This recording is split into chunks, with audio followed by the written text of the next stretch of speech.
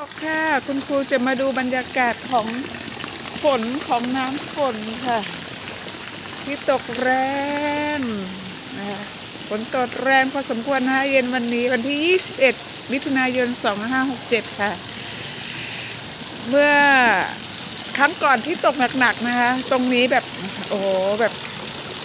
เยอะมากๆเลยค่ะน้ำเยอะท่วมมากๆเลยค่ะ คุณครูก็อยากจะดูว่ามันจะเหมือนครั้งก่อนไหม แต่ครั้งนี้น้อยกว่าค่ะ แม้ว่าจะตกหนัก แต่ระยะเวลาในการตกมันแป๊บเดียวค่ะ มันก็เลยมันก็เลยไม่ค่อยเยอะโอ้โหครั้งนั้นนะคะ ท่วมแบบล้อรถคุณครูอะเกือบมิดอะค่ะ ขี่มาแบบตรงถนนตรงเส้นข้างหน้านี่ค่ะแทบไปไม่ได้ค่ะ แต่ตอนนี้แบบ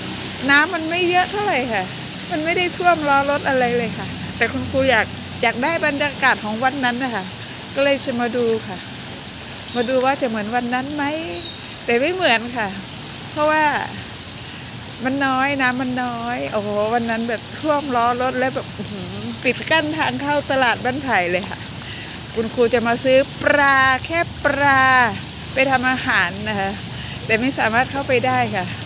วันนี้ก็ท่วมแค่ แค่เท้าค่ะนะจะดูจะดูจะดูก็มิดหน่อยค่ะท่านดูบรรยากาศของวันนั้นนะคะวันที่คุณครูมาติดอยู่ตรงนี้ค่ะ แบบถนนถนนมองไม่เห็นถนนค่ะเห็นแต่น้ำแล้วมันท่วมสูงมากๆค่ะ วันนั้นค่ะวันนั้นวันวานวันวานแต่วันนี้ไม่ค่ะ มองเห็นถนนค่ะ แสดงว่าแบบไม่หนักมากเท่าวันนั้นค่ะวันนั้นแบบ หนักทั้งแรงแบบไม่หยุดเลยค่ะ ก็เลยไม่ได้เห็น feel นั้น ไม่ได้เห็น feel นั้นค่ะ ไม่ได้เห็นภาพนั้นค่ะ